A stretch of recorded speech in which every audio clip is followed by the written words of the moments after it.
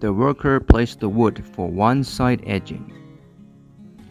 The other worker sends the wood back and wait for the other side edging.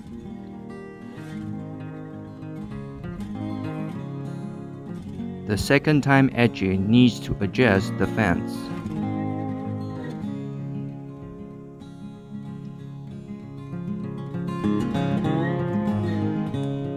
And then rip the other side.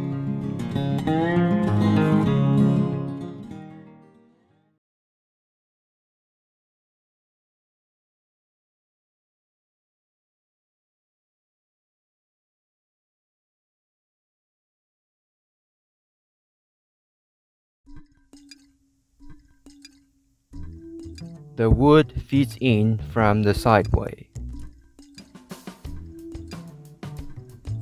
The operator simply just put the wood on the in-feed table.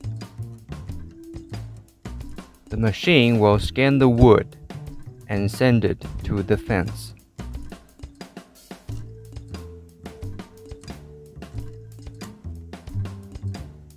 The laser lines showed the exact ripping position where the saw blades are.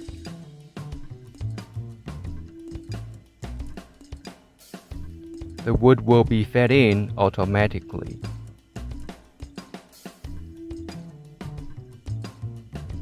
This can also avoid the wood kickback hazard.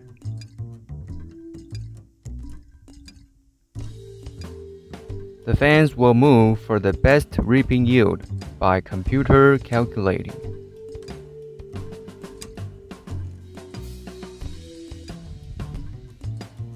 Woods can feed in one after another automatically.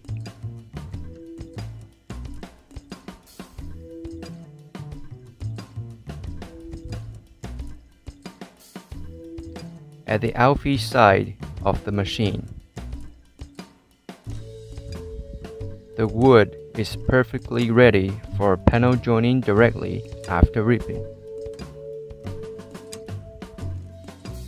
You can join the panel directly without extra planning or edging one more time.